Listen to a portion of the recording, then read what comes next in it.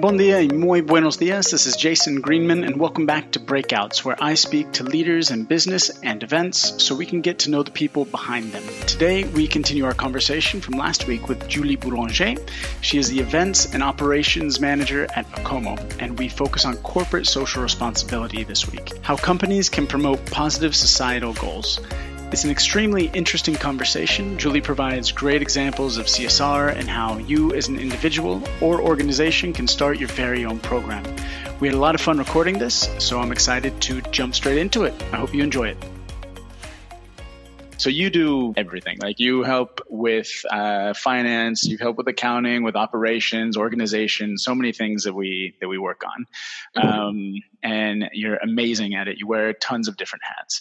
And one of the big things important to you is uh, CSR. Um, yes. And so maybe could you just speak to what is CSR a little bit, and maybe talk about some of the initiatives that uh, that are happening right now.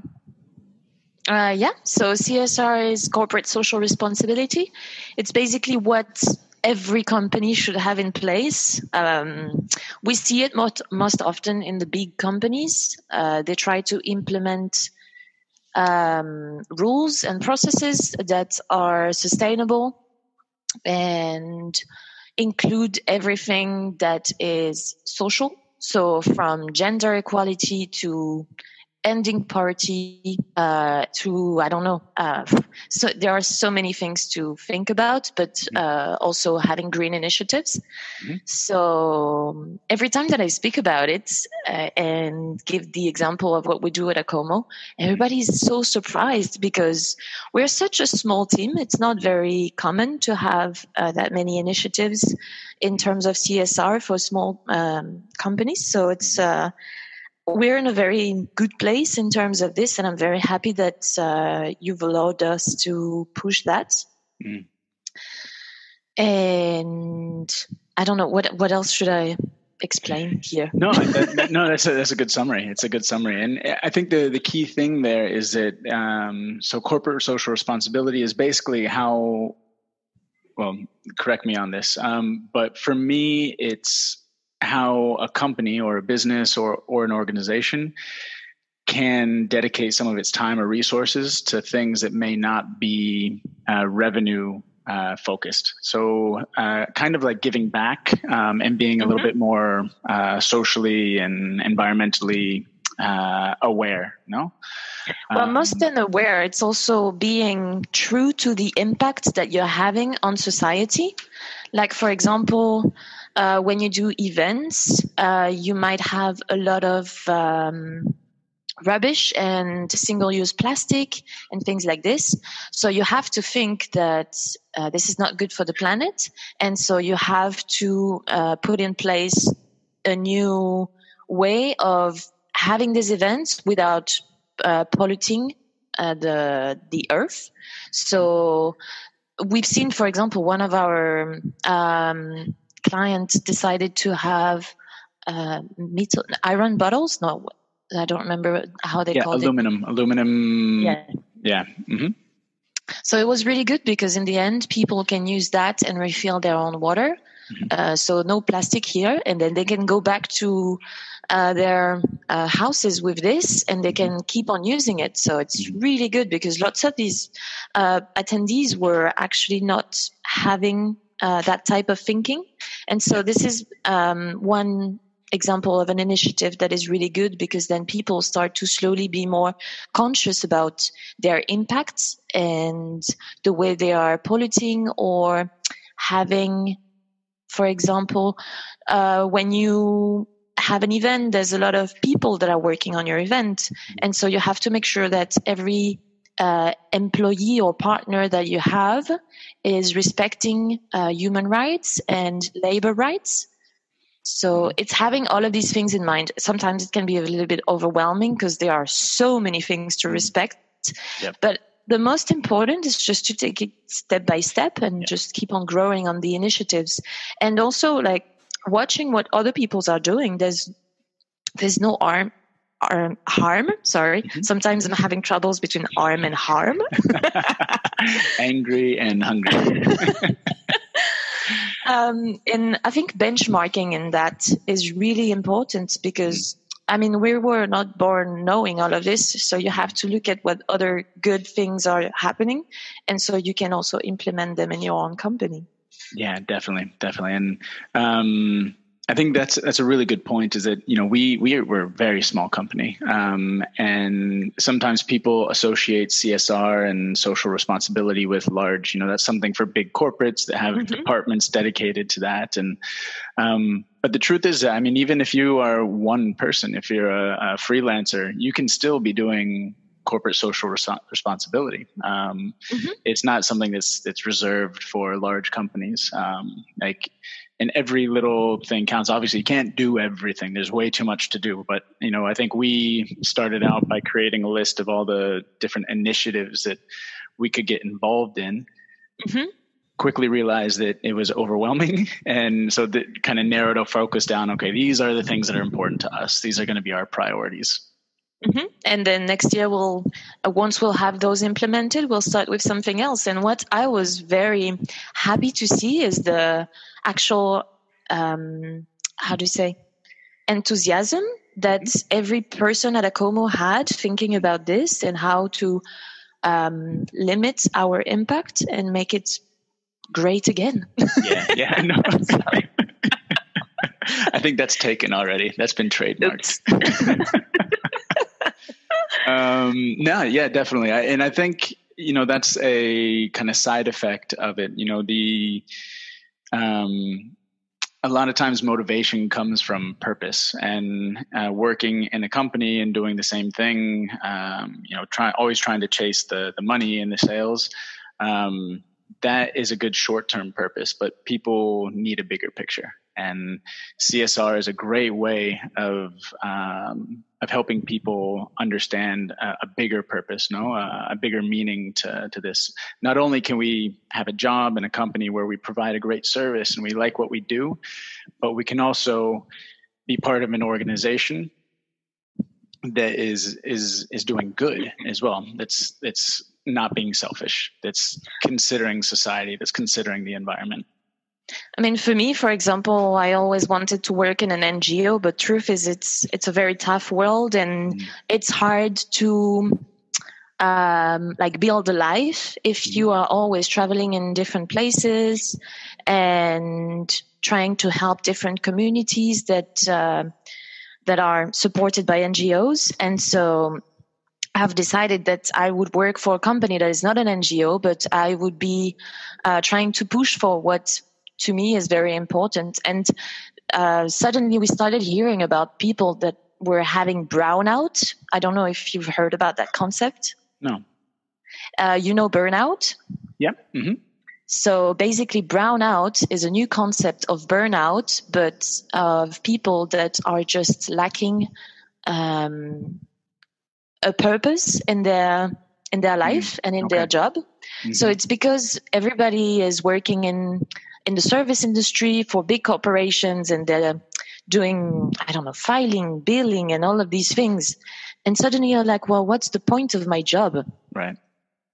And it's it's okay to have that type of thought, but then you just have to act on okay, what can I do to solve this? And for me, what could I do for, to solve this is work for a company that is allowing me to push for these initiatives mm. that are social and on a long term goal. I think everybody is interested in working for a company or working with a company that is uh, minimizing its impact and mm-hmm.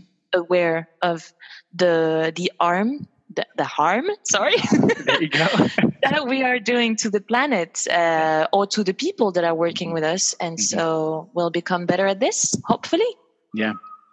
And so let's let's get kind of into more details then. So you, say that you are a small a small company um, and you're you're interested in in corporate social responsibility. Um, where where would you start? And and maybe you can use us as an example the kind of things that we you know how did we plan it and how did we get into it? What what and what did we end up doing?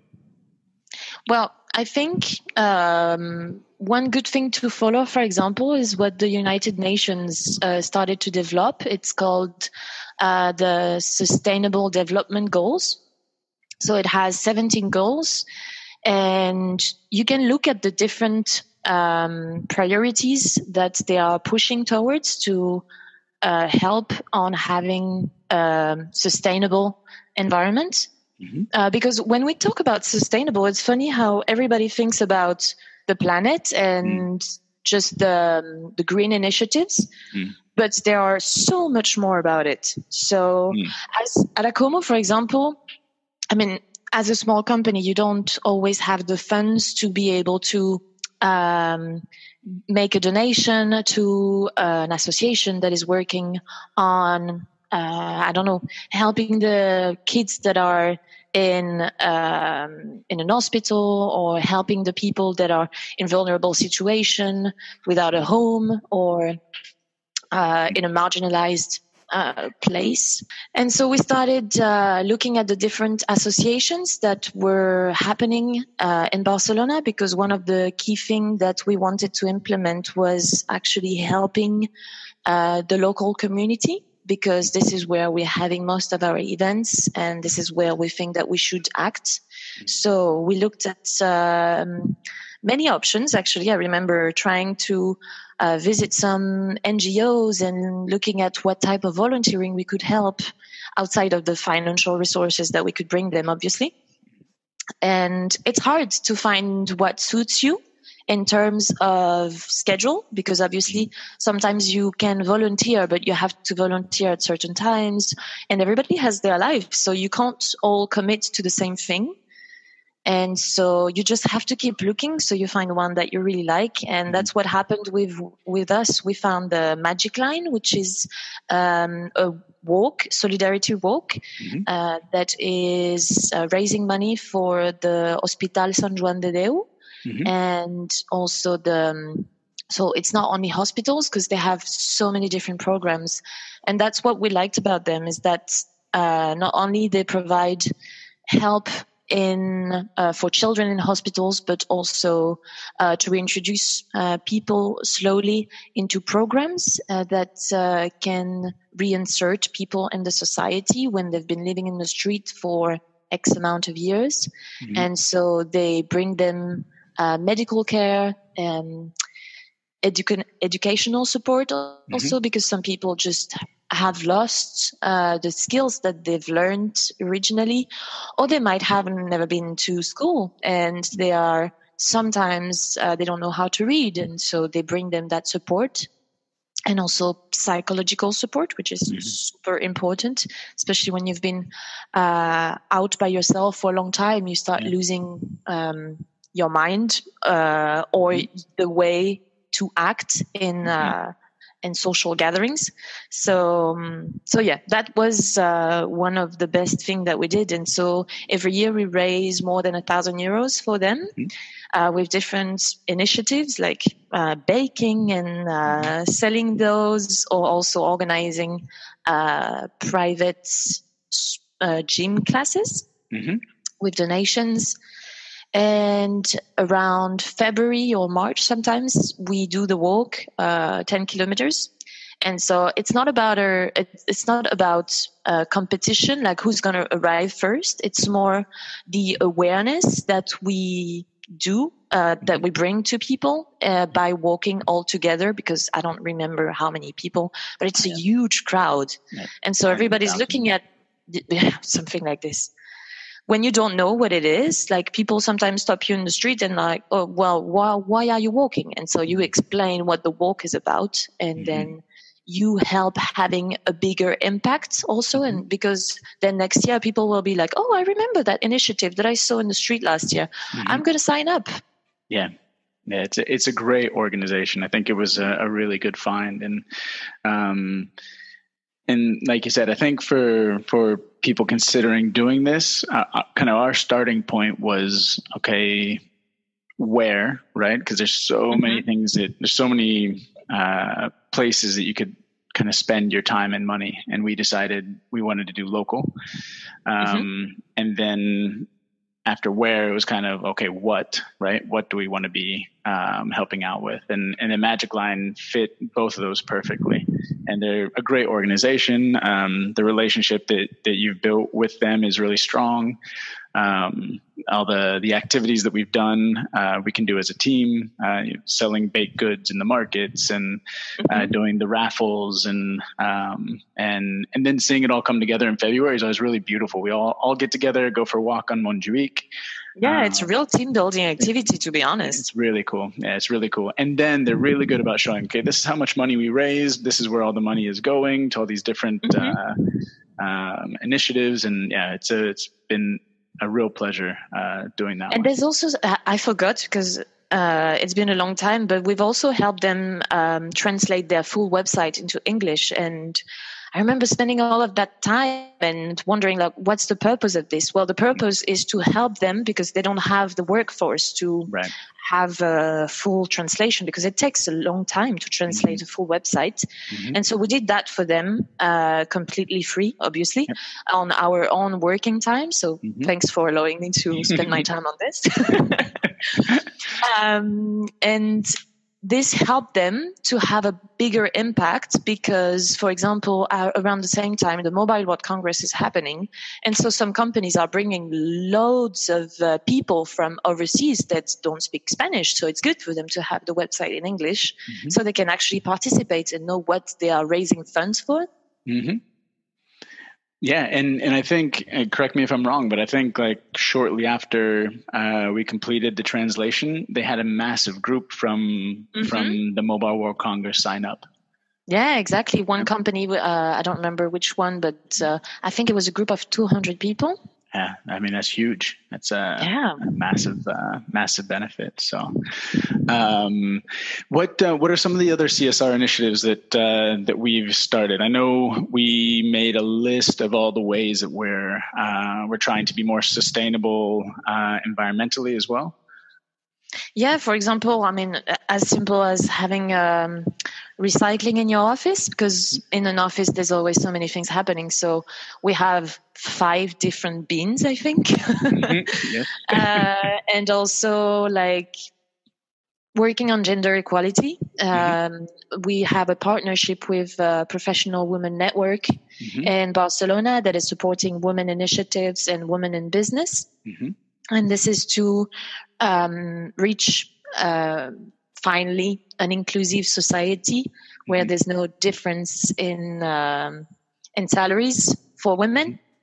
So it's another great initiative that we are doing. And I don't know, out of the top of my head, we're doing so many things right now. uh, we're also recycling the coffee. Uh, mm-hmm. How do you call that? Pods? Uh, yeah, I think so. Yeah, yeah. I think you're right. and uh, yeah, no plastic. I mean, all the plates and and we have mm-hmm. silverware and regular plates. There's no plastic in the office. Uh, yeah, recycling the printer cartridges. We hardly ever print. We've kind of eliminated printing. Um, mm-hmm. We have a printer, but I think I only use it to print off uh, things for my children to color at this point. or when you have enough uh, a meeting at an administration for something. Exactly true. Yeah, yeah. exactly. Uh, some some people still require some paper. Um, yeah, especially administrations. that's right. Um, and then I guess recently as well, we we made a whole list, kind of uh, relating back to the current situation. We made that list of mm-hmm. uh, all the MICE companies, all the event companies that are actively contributing to the fight against the uh, the COVID nineteen. Yeah, because for me, to be honest, CSR, I mean, there's that much you can do because of your personal resources as a company or as yeah. an individual.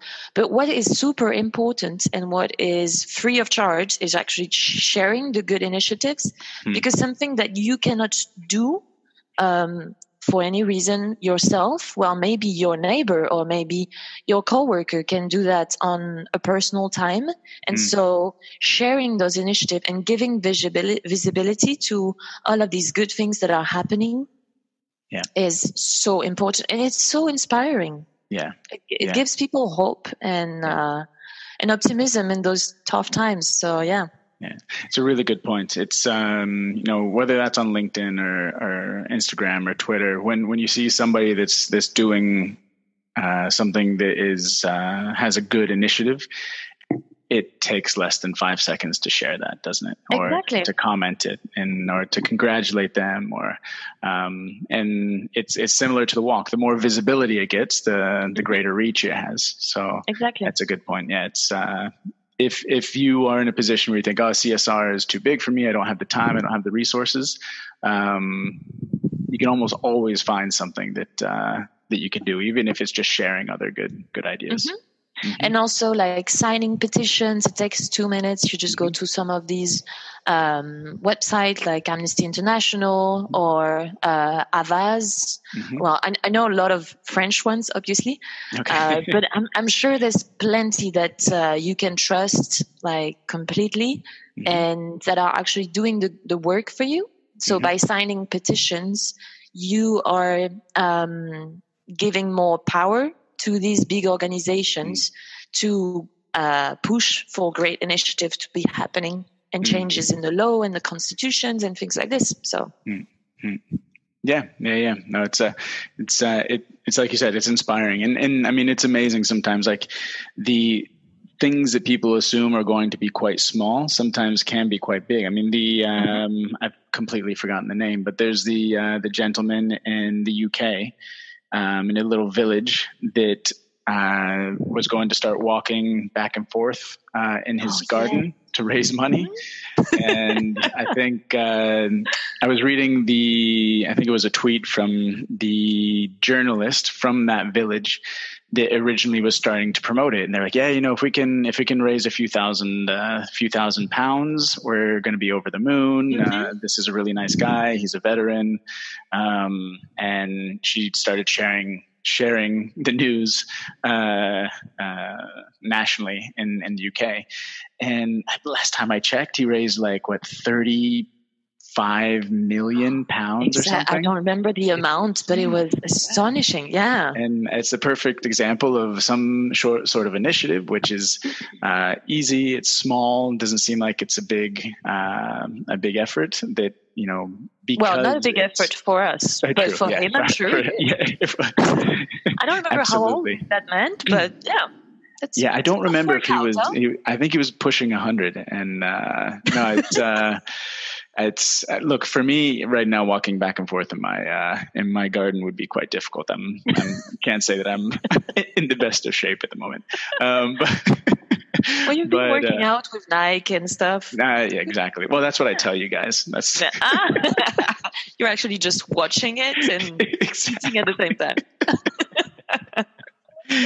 Busted. Um, but uh, but it's a perfect example of a csr well, a personal one for him that just it blew up and people shared it and you know mm-hmm. people donated and uh, there's always there's always something to do. I think the first thing is is you have to make it a priority. Um, you know, it's it's one you got to turn your words into action. If it's something that you really want to do, there's there's an opportunity out there for you to mm-hmm. to do something that's not just about making money, but you know, giving back to your community or um, or sharing positive news, whatever that is. Yeah, and there are right now happening in the world with the situation. There are so many initiatives. So yeah. it's just a matter of finding the one that speaks to you because you don't have to like the same thing as yeah. your friends. You just yeah. have to find what talks to you. So definitely. And so, um, I mean, what I might do, if you don't mind, is since you're the expert uh, in in our group about this, is um, if people reach out to you directly, would you be willing to kind of point them in the right direction, or yeah, of course. Yeah? Okay, I'll, I'll, put that. Yeah, in. I mean, it's it, as I was saying, like sharing initiatives is so important. So for me, uh, it's funny that you say that because I actually have so many friends that are sometimes like, okay, so I'd like to do volunteering, but I don't really know where I can get information or, and so I start asking them the question, okay, what's like, you want to volunteer, but what is important for you? Mm. And for example, like, okay, I want to do something like Fridays for Future, mm. uh, because uh, to me, like the climate change is horrible. Okay, mm-hmm. so then there are some organizations working on this, and you have to look at what type of volunteering. Or because like gender equality is so important for me, then there are other things. So happy to do that for everybody. Cool, cool. That's amazing. Um, well, I think we're we're kind of getting towards the end of the time here. Um, mm-hmm. It's been really great. You did a great yeah. job. Thank you. Thank you. You're on a um, bad. Thank you. um, yeah, I mean, for episode number three of breakouts, I'm just going to keep throwing it in there to see if it works. to see if it sticks. Exactly. See if people pick up on it. Um, but uh, yeah, thank you for for for jumping on, and I'm sure we'll we'll do this again. Uh, it's been really insightful. I think, uh, especially the the corporate social responsibility. I can tell that you know this is a passion of yours, and um, it's important that we get that out there and and introduce it and, and help people understand what it is, and that it's super accessible that anybody can use. exactly. Yeah. Um, cool. Well, thanks a lot. Yeah, thank you, Julie. Um, that's Julie Boulanger. And hey. uh, after four uh, years, you still don't know how to pronounce my name. well, why don't you give it to us? Give it to us, and then we'll sign off. Julie Boulanger. Amazing. Amazing. All right, Julie. We'll speak to you soon. Speak to you soon. Bye-bye. Bye.